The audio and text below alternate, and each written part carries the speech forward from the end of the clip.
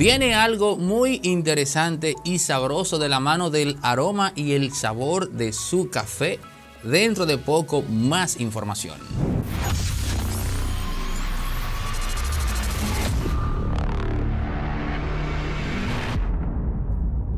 Tenemos informaciones puntuales que nos han dado sobre el caso de César, el que solía abusar, pero nos vemos tentados a iniciar con un análisis, porque aquí las cosas están clarísimas. Miren, lo primero que se dijo fue que César había sido el autor intelectual o incluso de ejecución en un hecho que se dio en la cárcel donde él está en Colombia en donde perdió, digamos, eh, o fue desintegrado físicamente un reo. Luego se habló, y eso fue ya como una evolución del asunto, se habló de que César participó en un lío junto a otros reos, en donde finalmente uno de ellos vio comprometida su existencia y ya no está en este plano. Pero cuando hablamos con la abogada de César en Colombia, amén de que por un asunto de prudencia no quiso salir en las cámaras vía Zoom, pero las informaciones que ella nos dio, y si usted recuerda, porque muchas veces el morbo, la fascinación de las cosas nos lleva a olvidar lo que está claro ahí, delante de todos nosotros. ¿Quién es César? actualmente el que solía abusar, bueno, de repente ya es una persona desprovista de poder que tiene la expectativa de negociar con las autoridades norteamericanas. Yo no sé si ustedes lo saben, pero César estaba esperando de manera ansiosa ser deportado a Puerto Rico en el mes de enero. Pero al mismo tiempo, a pesar de que se corroboró lo que planteamos hace un mes de que inmediatamente se dio el tema del señor Gutiérrez en Miami. ¿Lo recuerdan? El exdiputado que fue a entregarse a las autoridades y que a pesar de tener una orden de seguimiento de las autoridades norteamericanas salió como, como Juan caminando por su casa y cayó en Miami y allá lo atraparon. Mentira, fue a entregarse. Ese señor comenzó a dar información y esa es la persona de mayor interés para Estados Unidos a este segundo, tanto que el juicio se lo movieron para el año 2022. Aún así, mentalmente, César, el que solía abusar, entiende que en cualquier momento él puede negociar con las autoridades. ¿Y por qué digo esto? Porque no es verdad que si César está esperando negociar, que si César quiere que lo deporten a Puerto Rico, no es verdad que él se va a meter en un lío en la prisión que pueda comprometer el proceso que él añora. Y si aceptamos eso, tenemos que llegar entonces a la conclusión de que lo que en verdad ocurrió con César en esa prisión fue otro intento más de desintegrarlo físicamente, el tercero. Porque ahora también olvidamos que cuando él estaba prófugo en Colombia, se reportó un incidente en una discoteca donde estaba ese mismo César y luego se llegó a la conclusión de que se estaba detrás de él y que un grupito lo quería desintegrar. Pero luego en la misma prisión, meses atrás, se dio otro problema. Y también allí salió a relucir de que a César se lo querían lamber. Esto que acabamos de, de lo que acabamos de, digamos, darnos cuenta o enterarnos, no sería más que el tercer intento de tratar de despachar a César. Pero ¿quién estaría interesado, caramba, en hacer que César deje de respirar? Miren, yo no voy a decir nombre, pero aquí hay una persona muy poderosa que aún está prófuga. Y era el individuo que está etiquetado como el jefe de César el que solía abusar. Pero esto es una conjetura de mi parte. Casualmente esa persona aún está prófuga, no se sabe nada de ella. Uno podría pensar que el asunto anda por ahí.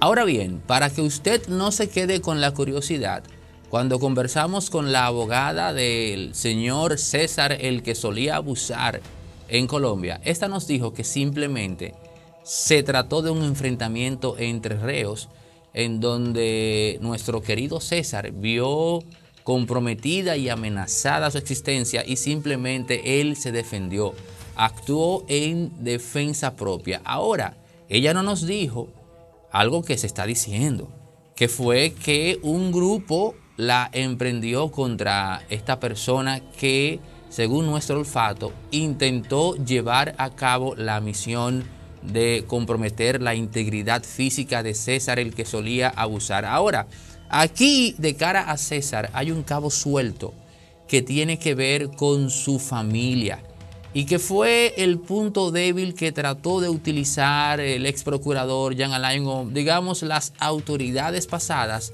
para hacer que César se entregara directamente a ellos. Y una vez estando prófugo, tenemos que recordar que en las notas de audio que se filtraron, la mayor preocupación que tenía el señor César tenía que ver con su esposa y con sus hijos. Y planteo esto porque de la resolución de ese tema, me refiero a la seguridad de su familia, podemos entonces nosotros saber cuál es la tecla o cuál es, digamos, la danza o a favor de quién está bailando César ahora mismo.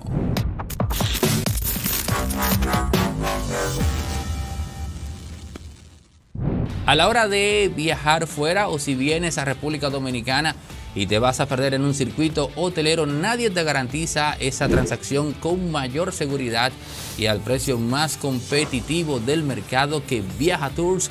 Simplemente dos pájaros de un tiro. Eso lo puedes comprobar tal como lo comprobamos nosotros. Viaja Tours, expertos en confeccionar momentos agradables para ti y si vas referido por impolíticamente correcto, tienes un 10% de descuento. Abierta de lunes a domingo y con los medicamentos a un 20% de descuento.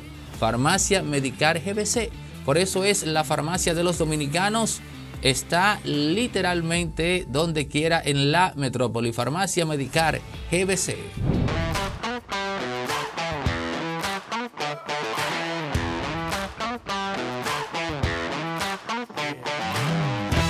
Miren cómo son las cosas en República Dominicana.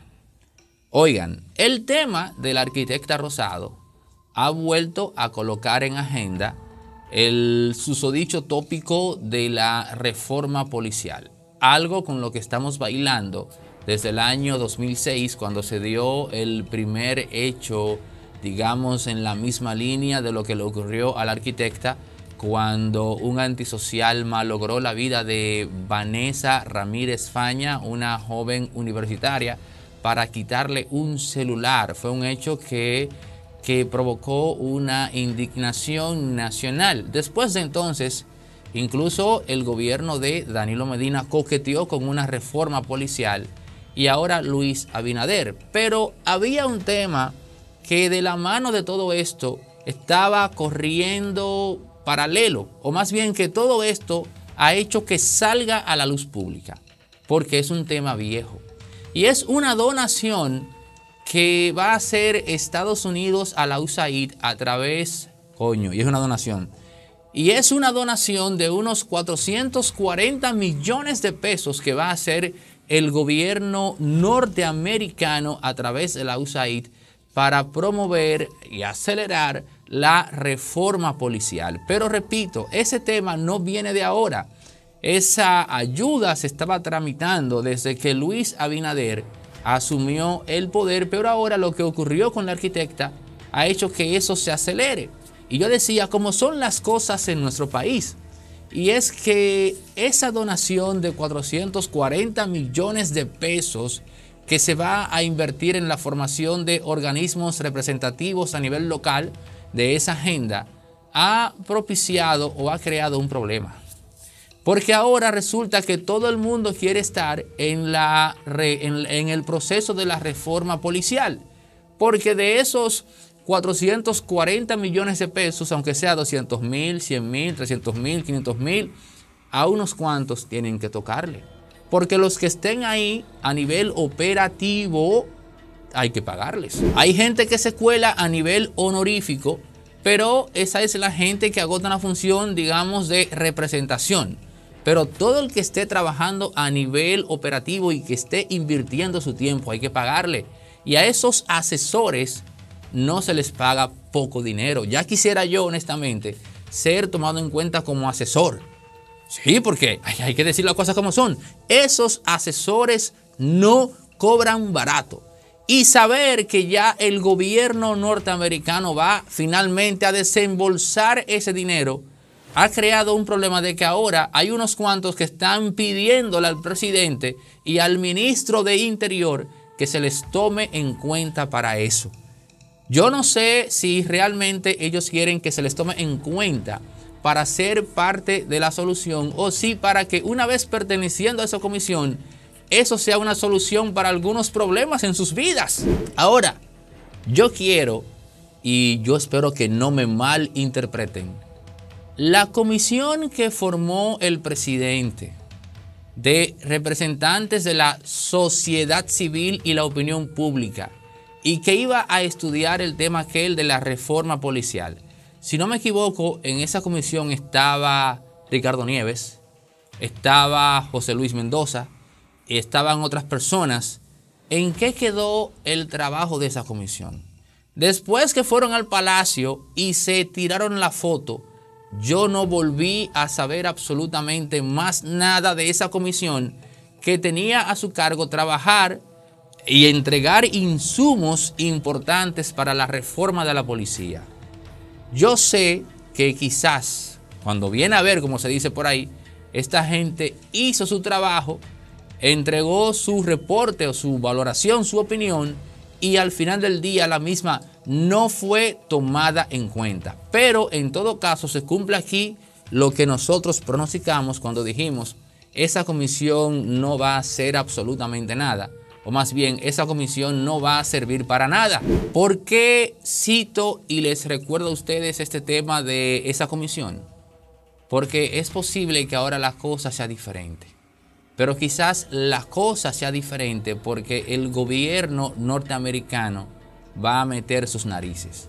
Porque no creo, ojo con esto, no creo que Estados Unidos done, regale 440 millones de pesos a mente que se le pague a quien se contrate, sin velar porque ese dinero se use de la manera correcta y debida. Tal vez ahora, repito, que Estados Unidos se meta en esto, la cosa cambie, pero me queda una pregunta en el aire que de, que de momento no tiene respuesta y que tú puedes dársela en la cajita para comentarios. ¿Qué motiva en verdad políticamente a Estados Unidos a meterse en la reforma policial e incluso a ponernos en las manos 440 millones de pesos. Qué caro le ha salido este lío de Danilo Medina y Leonel Fernández a este país. Qué caro. Por un lío de dos pedazos de carne, tenemos que pagar 11 millones de pendejos. Danilo, dime de Gonzalo. ¿Qué tú vas a hacer con Gonzalo Castillo? Porque se supone que si el PRD está fuera del poder, el líder de la oposición vas a pasar a ser tú.